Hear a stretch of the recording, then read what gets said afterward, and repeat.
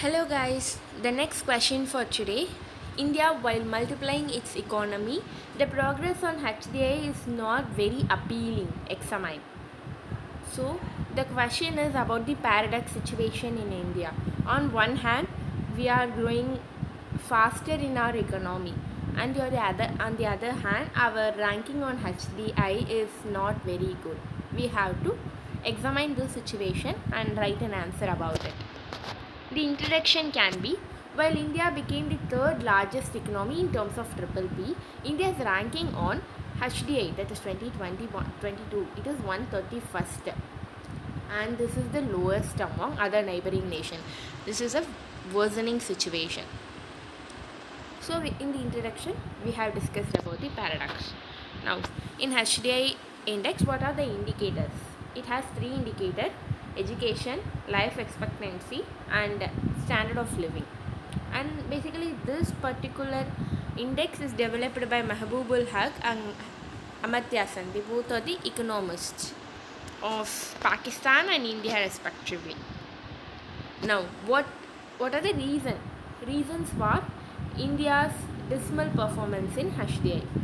First reason increasing income inequality it affects the access and affordability true. And as per the oxfam report income of 84% household in the country declined in 2021 and the number of billionaires grew from 102 to 142 this is during this covid period lockdown period 84% of them they lo- lost their uh, income whereas the number of billionaires increased in india. This shows the inequality the level of inequality in india. Now the second reason can be gender inequality. Women uh, per capita income is only 21.8% whereas as that of male so women earns only 21% of what male earns while it is more than double at 49% in other developing nations so other developing nation women uh, women's per capita income is around 49% this is uh, and india's case is just 21% which is very very low. Due to exclusion from labor force why this difference or disparity? It's because of the exclusion of women from the labor force. Now the next reason can be cumulative impact. What is this cumulative impact? Spillover across generation. So all these impact they smaller smaller impact they combine they accumulate and it becomes a very big factor. Is the intergenerational cycle which denies opportunity to those at the bottom of the pyramid. These are the major reason. Now what are the measures? How can we rectify such situation?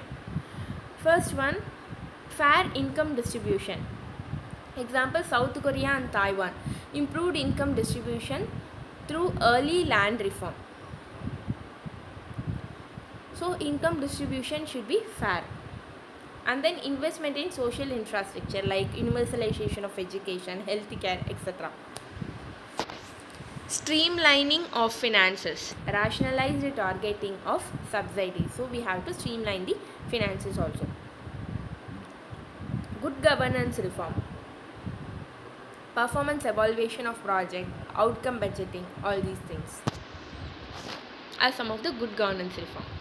And then gender empowerment invest in gender equality and women empowerment. As these are the integral part of human development. For human development we need gender equality and women empowerment.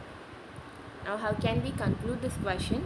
India's HDI score can be substantially enhanced how if government rolls out inclusive policies that strengthen public health education nutrition and end gender discrimination to usher in more egalitarian order.